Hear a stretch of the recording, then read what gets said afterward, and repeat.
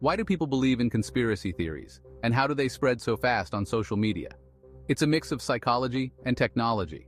We love stories that reveal secrets and mysteries. Social media algorithms amplify this by showing us content we're likely to engage with, creating echo chambers where these theories thrive, and like-minded individuals reinforce each other's beliefs.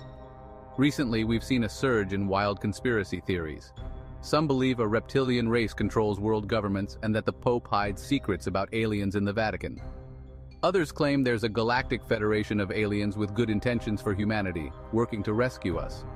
Another popular theory is the hollow moon, which suggests the moon is hollow or even a spaceship. Despite their outlandish nature, these theories attract many followers.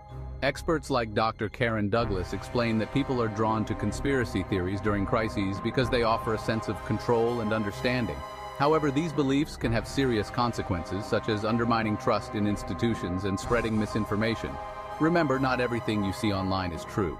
Always fact-check, use credible sources, and think critically to avoid misinformation. Remember, every day is a fresh shot at uncovering the extraordinary, so stay sharp, stay curious, keep pushing those boundaries and smash that thumbs up button. Subscribe. Dive into the world of Napoleon Media. Let that insatiable curiosity drive you. Stay tuned for more electrifying content, because here at Napoleon Media the adventure is just beginning.